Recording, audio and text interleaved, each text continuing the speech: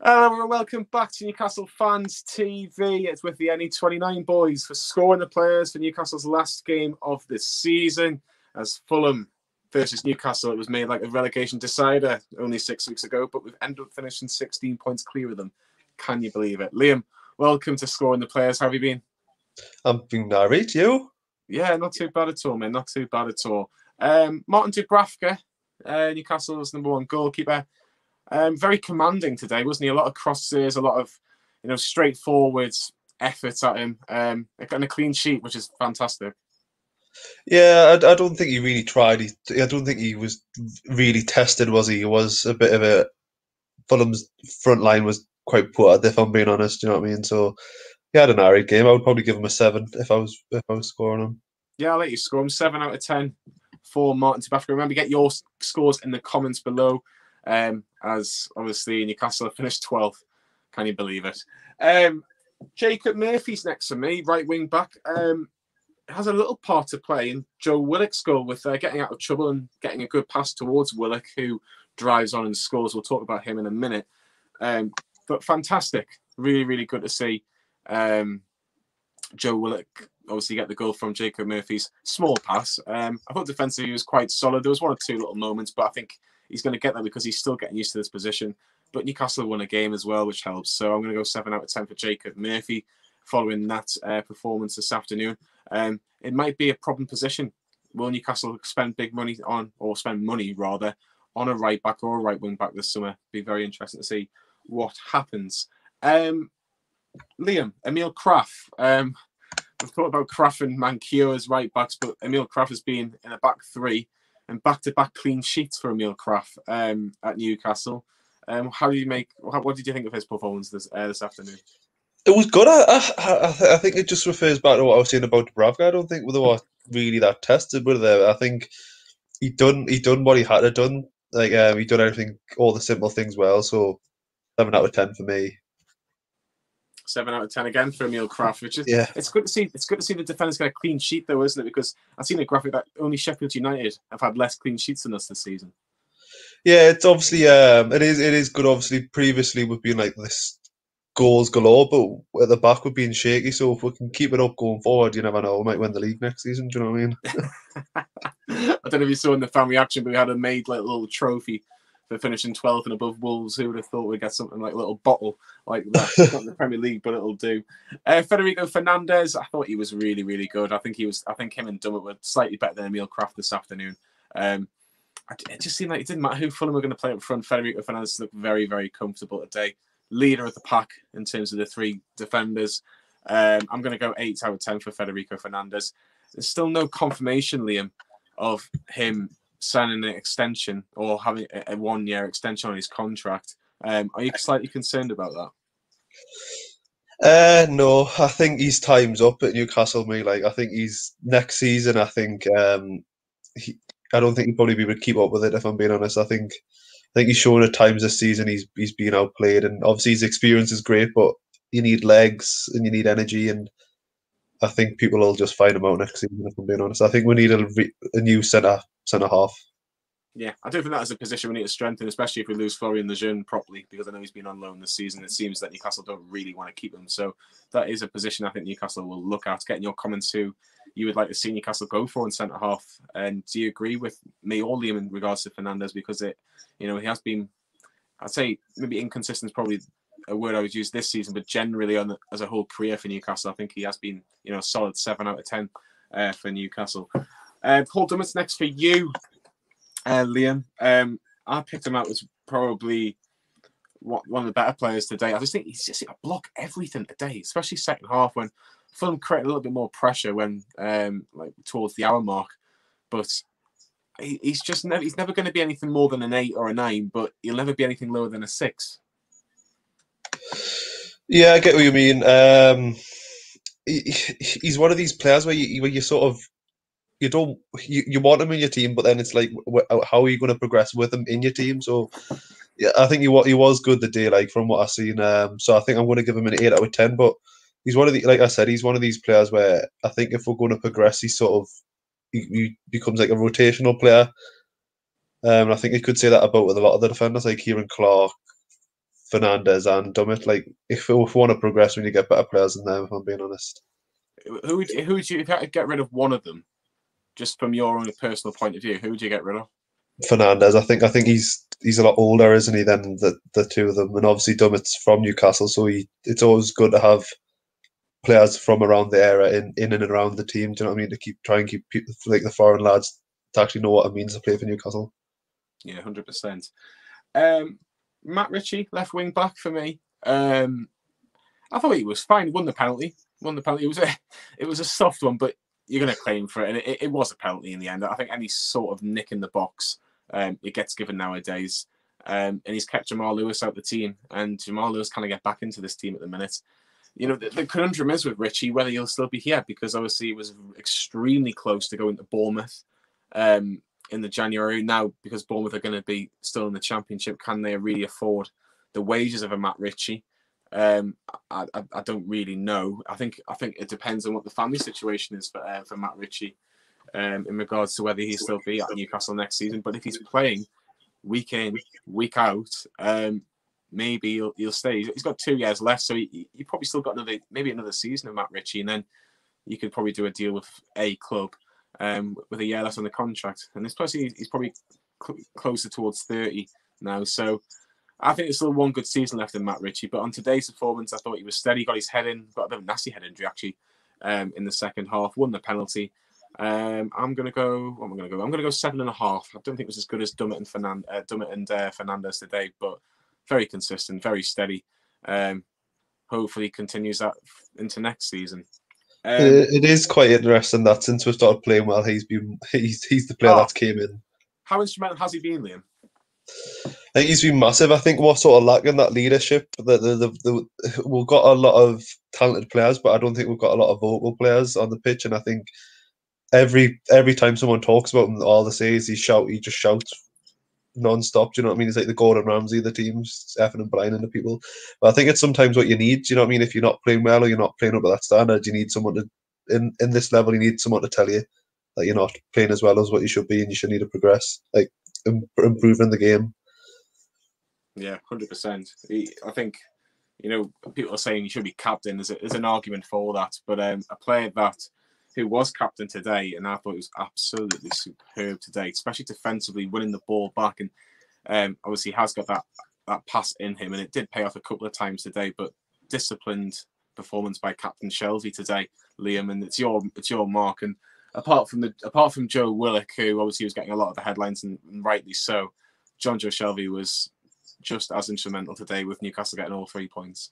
Yeah, he's, sort of had a rocket up his arse the last couple of games, hasn't he? Like I think he was going through a spell where we're debating why it was always Jonjo Shelvey in the middle. Do you know what I mean? But I think this last couple of games has shown what he can be as a player. Obviously, he's defensively he was spot on the day, and I think he like last week or last not last week Wednesday he was spot on as well. So I think off the day's performance, I think I'm going to give him an eight. Um, maybe maybe a bit bit bit harsh, but I think an eight an eight out of ten would be spot on for him. Um, it, we just we need to see what he's going to be like next season, and obviously he needs to chip in with a few more goals, doesn't he? I think that's the main problem with with the midfielders. We haven't got a goal scoring midfielder that does it that belongs at the club.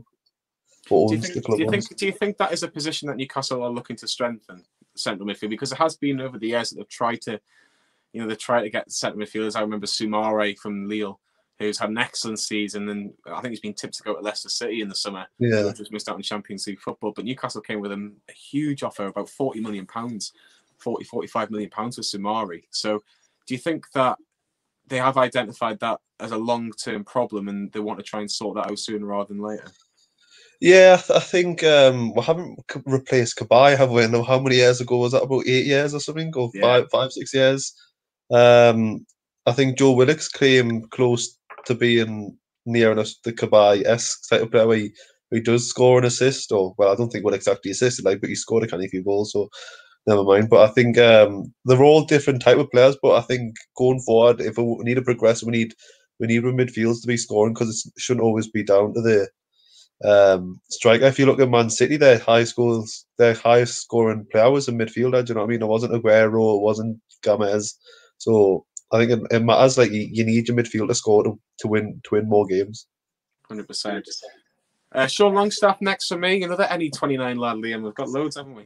Um, I thought his performance was fine today. Um, I don't think he was as good as Shelvey or Willock, but he just, he, like I say, he, he's had a good end of the season as Sean Longstaff. I think, you know, I think everybody has, or 99% of Newcastle players have had a good good end to the season. And I still think his best position is a number 10. I really do. I'd like to see him as a number 10 more often, but I don't think Steve Bruce sees him as that, um, which I'm a bit surprised about. But we'll leave that one for another day. But in terms of today, I can't really complain with how uh, how he played this afternoon. I thought he broke the play up. He was he was comfortable on the ball. He had, he had, that little bit of time, which is which he, which he prefers.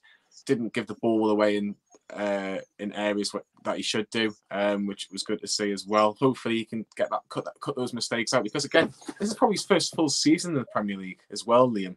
And if he can can maybe learn from the mistakes that he has done this season, going into next season, we could see a much better Sean Longstaff. i am going to give him a seven today. Um, but I think I think another another full season in the Premier League, we'll see a better Sean Longstaff, won't we? Yeah, obviously we want the Sean Longstaff that man you wanted to pay fifty million for. Do you know what I mean? Obviously, I think last last season he was injury hit, and this season he's been hitty missy. Do you know what I mean? But like you're saying, he's he's been good towards the latter end of the season. But but it's just we need the goals. Do you know what I mean? Like obviously we've, we've got the players that can break up play, but you need to be chipping him with the goals. And I think if he's puts his shooting boots on, we're going to be laughing. Do you know what I mean? Yeah, hundred percent. Right. Brace yourself, Liam. You have got the man at the moment, Joe Willock. His last game for Newcastle in his loan spell from Arsenal.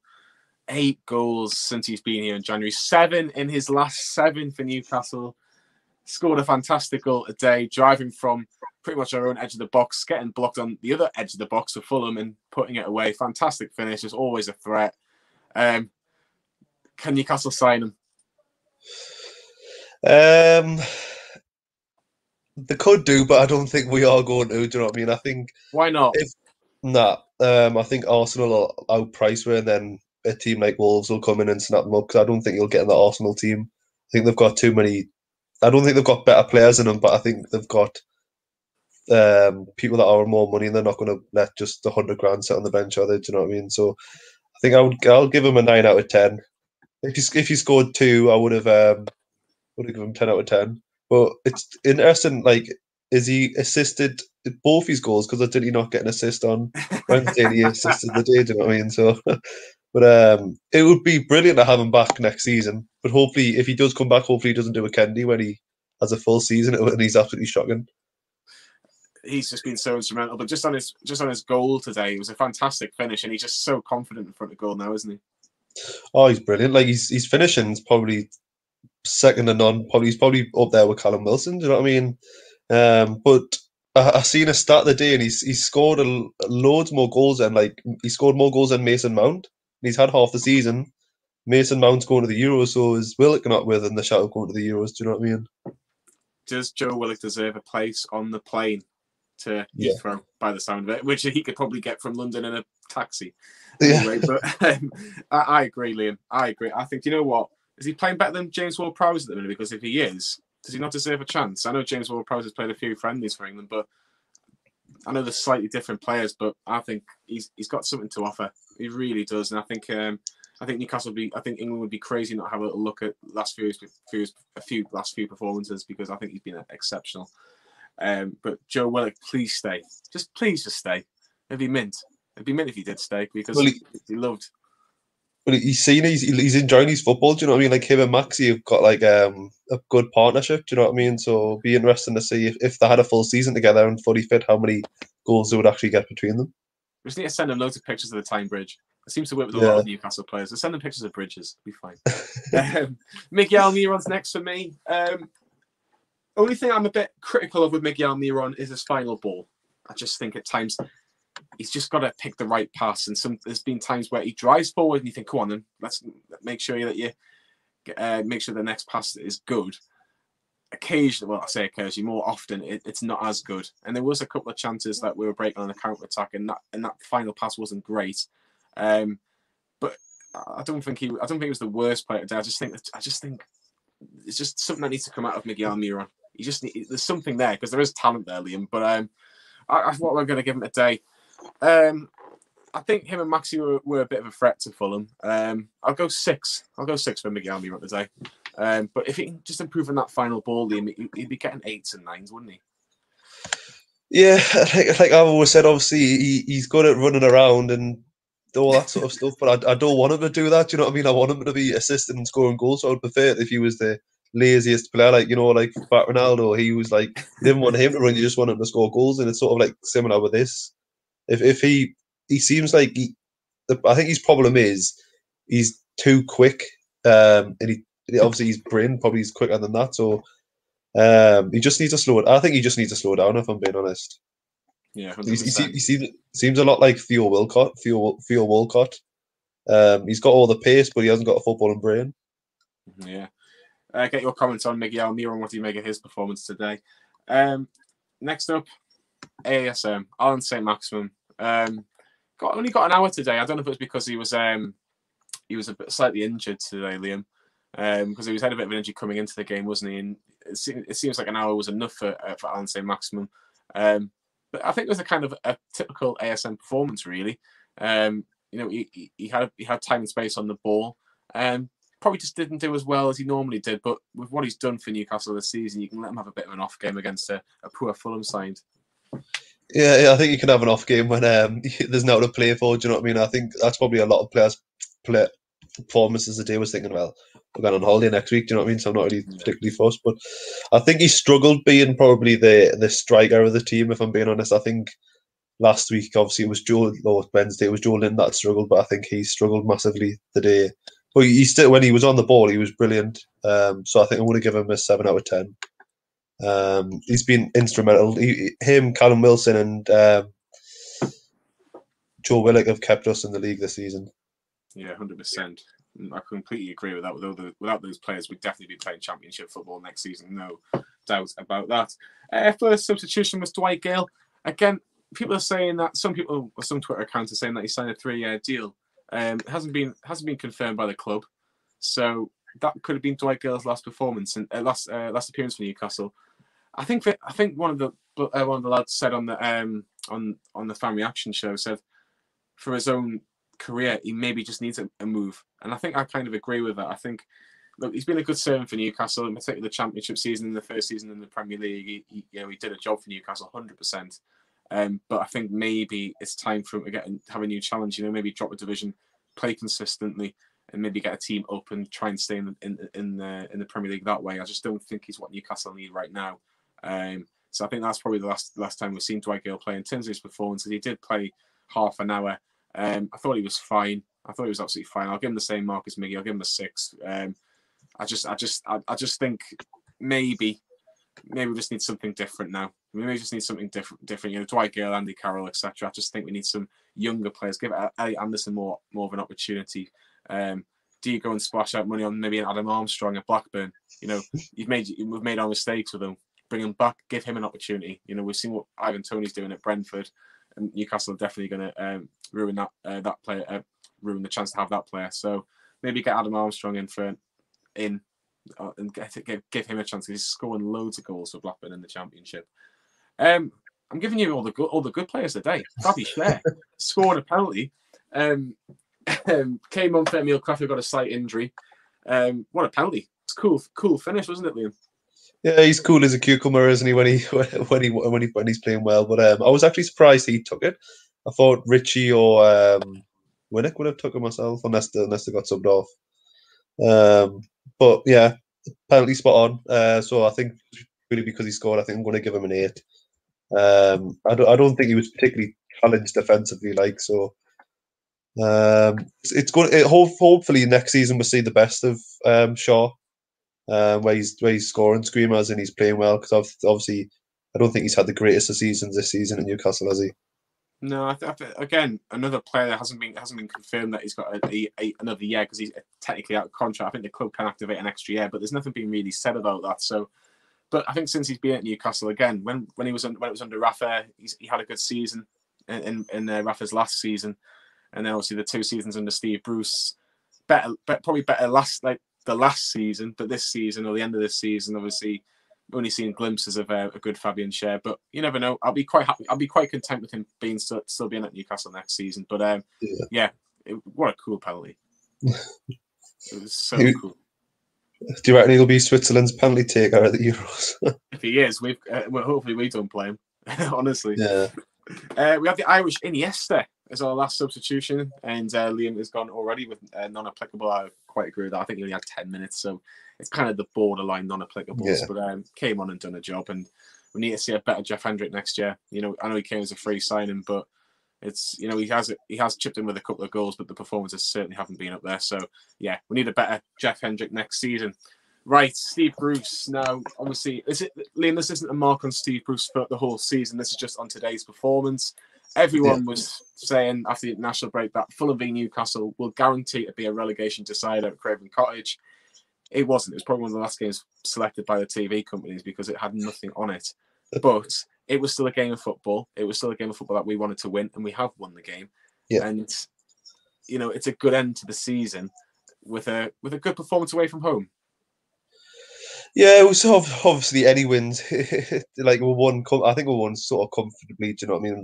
We weren't really challenged that much. Um, obviously, my Maja was going to send it down, but obviously, Sunderland stayed in League One, so that's all that matters.